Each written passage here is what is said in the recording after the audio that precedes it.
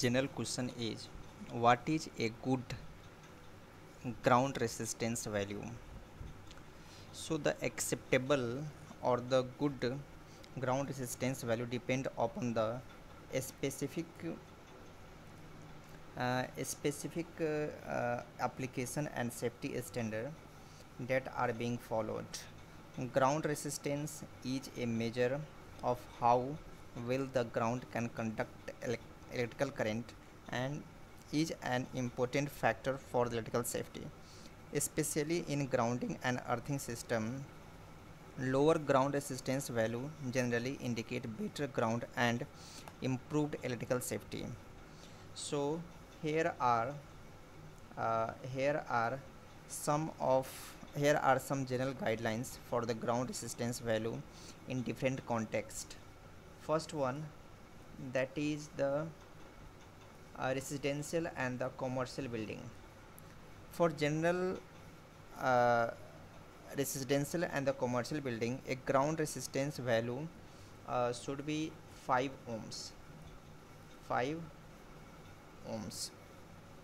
Uh, or lower is often considered acceptable.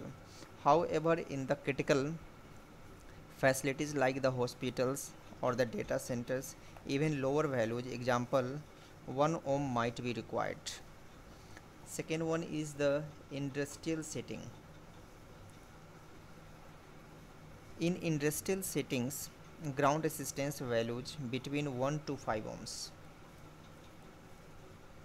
Between 1 to 5 ohms are typically recommended the exact value depends on the type of the equipment, the potential for electrical faults and the specific industry standards.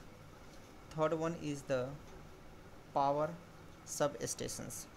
Power substations are critical infrastructure and the ground resistance value of the 1 ohm 1 ohm uh, and ground resistance values of the 1 ohm or lower are also required to ensure the safety of the personnel and equipment.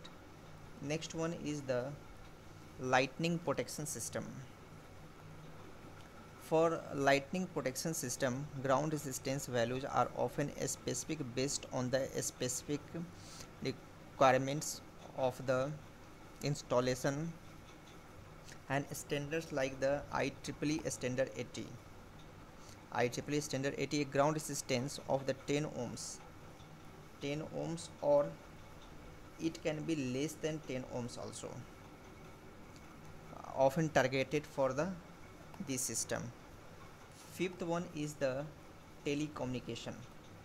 Uh, telecommunication systems require uh, low ground resistance to reduce the risk of the electrical interference and ensure the signal quality ground resistance values below 5 ohms are commonly targeted in these applications. It is important to note that uh, while these values provide the general guidelines, specific safety standards and the regulations may dictate the acceptable ground resistance values for the particular applications. Compliances with local electrical codes and industry standard is essential to ensure the safety of the personal equipment, personal equipment and the proper functioning of the electrical systems. Regular maintenance and periodic testing of the grounding systems are also important to maintain the effective grounding over time.